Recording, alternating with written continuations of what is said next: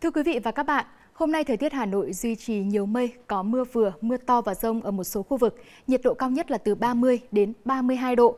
Tối và đêm nay có mưa vừa, có nơi mưa to và rông.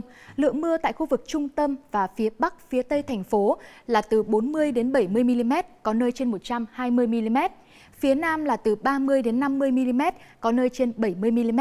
Cần đề phòng khả năng xảy ra lốc xét và gió giật mạnh úng ngập cục bộ ở các tuyến phố khu dân cư đô thị, sạt lở đất ở vùng núi địa hình dốc như là Sóc Sơn, Ba Vì. Từ gần sáng mai, gió chuyển hướng Đông Bắc cấp 2, cấp 3, nhiệt độ là từ 25 đến 28 độ. Sang ngày mai, khu vực Hà Nội nhiều mây, mưa giảm, chỉ còn mưa rông ở vài nơi, với lượng mưa từ 20 đến 50 mm, có nơi trên 50 mm, nhiệt độ từ 24 đến 29 độ, độ ẩm từ 78 đến 88%.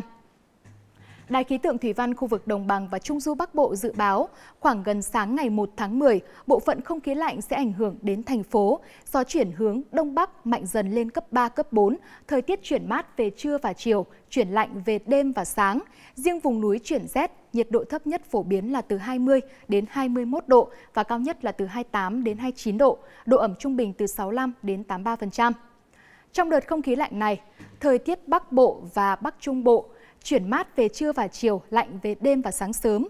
Riêng vùng núi miền Bắc thì chuyển rét, nhiệt độ thấp nhất ở miền Bắc và Thanh Hóa phổ biến là từ 19 đến 22 độ, vùng núi là từ 17 đến 19 độ và vùng núi cao có nơi dưới 16 độ. Còn sau đây là thông tin thời tiết chi tiết các khu vực Hà Nội trong ngày mai. Khu vực phía Tây thành phố từ Phúc Thọ tới Trương Mỹ, Hà Đông, nhiều mây, đêm có mưa vừa, mưa to và rông, nhiệt độ từ 25 đến 29 độ. Hình thái thời tiết này cũng sẽ diễn ra ở khu vực phía Nam, từ Thanh Oai, Thường Tín tới Mỹ Đức với nhiệt độ không thay đổi.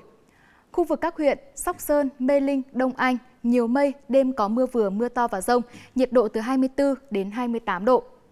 Vùng núi Ba Vì Sơn Tây cũng tương tự kiểu thời tiết này với nhiệt độ từ 24 đến 28 độ. Trung tâm thành phố Hà Nội nhiều mây, đêm có mưa vừa, mưa to và rông, nhiệt độ từ 25 đến 29 độ. Phần cuối bản tin sẽ là phần dự báo chi tiết của khu vực Hà Nội trong 3 ngày tới và các tỉnh thành trên cả nước.